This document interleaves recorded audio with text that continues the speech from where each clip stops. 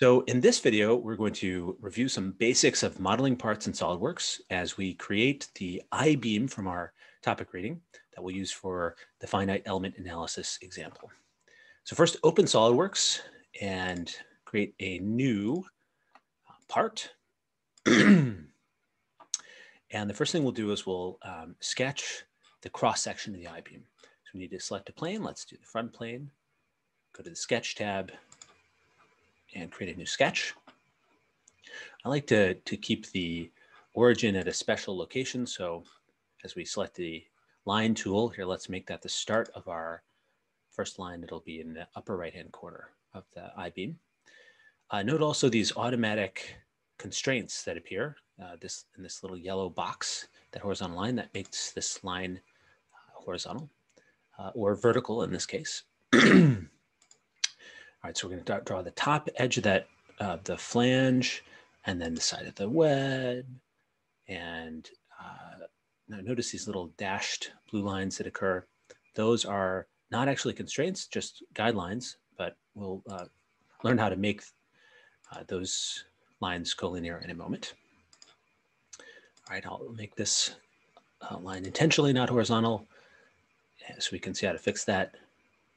And finish off the cross section of our I-beam here. Hit escape to get out of that tool.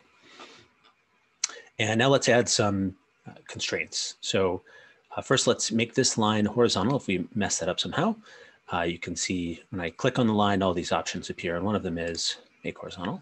If I then click on the line again, um, you'll see this little green box appear that tells you what constraints apply to it. no, that's not where I want. I'm just going to drag that line down. Okay, so first, let's make the outer edges of the flanges collinear. So I'll click the first one and then shift click the second and then select this icon for to make them collinear. Now when you uh, click on just one of them, you'll see one, two, these two are uh, constrained to be on the same line. So the faces will be in the same plane. We can do the same thing over here. Click, shift click, collinear. and I think we have uh, everything set more or less. Now let's add some dimensions. So according to the reading, we wanted to make this I-beam five inches wide. Uh, by the way, if your default settings are different from inches, you can come down here and click on the unit system and scroll to the one you like and, and select it. Let's make the flange half an inch thick per our, our reading. Oh, I've, I've, I've missed a couple of relations. We'll make this one half an inch thick also. And now so that we don't have to set that dimension twice, or so that these things will stay as we wish, as we change dimensions, we'll make those lines collinear and these lines collinear. All right, let's also make the web in the center half an inch thick.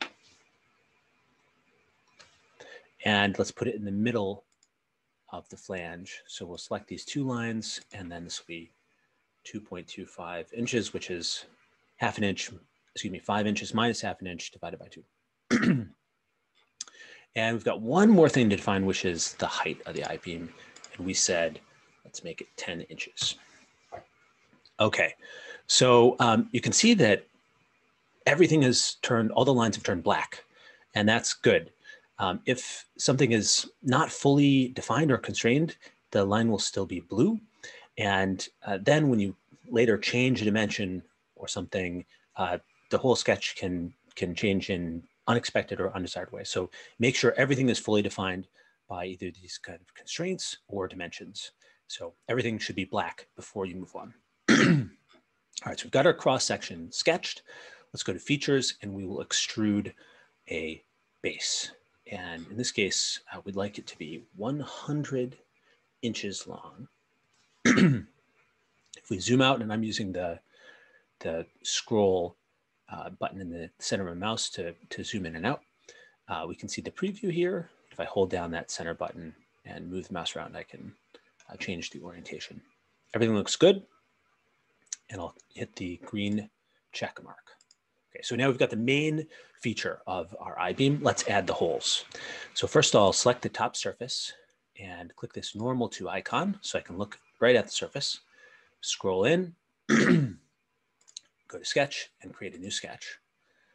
And I'll choose the circle tool this time and make a couple of circles. These are going to be our holes. Escape. We said we'd like them to be half an inch in diameter, 0.5 and 0.5. And we didn't actually say how far they were from the edges in the in the topic reading, but let's make it one inch from the top, one inch from the side. oh, sorry. Double click that to change it, one inch. And do the same thing here. And then we'll use our constraint trick to set these to be the same distance from that top. Now I go to features, extruded cut, and I don't want this to be just to a particular depth. I'd like to go through everything. So I'll say through all. and if I zoom out and, and, rotate a little, you can see we now have our two holes that go through both flanges. So well set there. Now we, we wanted these holes to be all up and down the length of the I-beam. So uh, let's make a linear pattern. If I select cut extrude, and then uh, I choose this linear pattern tool, I can make a, a, a, sequence of these things. So the first thing we need to do is select the direction in which we'd like the pattern to occur. And so we'll click that edge. Uh, now the distance between instances of the pattern, 10 inches. Uh, so we'll get, um, and let's do 10 of them. So we get 10 across the length of the I-beam. And I think the default is two here, but if you say 10, it'd be good. Now, if we zoom out and look at the preview, that looks uh, as we expected. So green check mark. and now you can see we've got a bunch of those little holes along the top and bottom flanges of the I-beam. All right, so the last feature we need to match our, uh, our example part are those big holes in the middle of the web. So let's take a look at the web, zoom in on one end, and go to Sketch, New Sketch, Circle Tool, draw a circle here, make it uh, five inches in diameter in this case, and let's also make it five inches from the edges. And that will make it centered vertically and not too close to the end of the part. And if we select that sketch, go to features, extruded cut. Once again, through all, green check mark, happy. And then let's make another pattern. So select the cut, make a linear pattern, 10 inches, 10 of them along that line. See, we're getting just what we like. Green check mark, and we've got it. All right. Uh, there's so those are the the features that we most often use when creating parts in SOLIDWORKS. There's one other that comes up quite frequently, and that is the fillet. So let's uh, just add a fillet here to see how that goes. If we click, if we are in features and we go to fillet, uh, then we can select an edge and it will automatically add a rounded surface that's uh, tangent to the two uh, surfaces that come in to create that edge. and this is especially helpful in internal corners to prevent stress concentrations, eh, which is the way you um, often see it used in, in uh, mechanical design. All right, so you can see that's being previewed. If we, and we can select the, the diameter there, let's say a quarter of an inch, green check mark, and now you'll see that these sharp internal corners have been rounded out. All right, that's the end of our uh, quick review of how to create uh, parts in SOLIDWORKS.